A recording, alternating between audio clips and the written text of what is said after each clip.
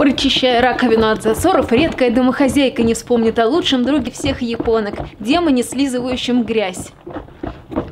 По-японски этот демон называется Аканамы. У него длинный липкий язык, которым этот гурман слизывает грязь и волосы из стоков. Заведите себе такого, посадите у засорившегося слива.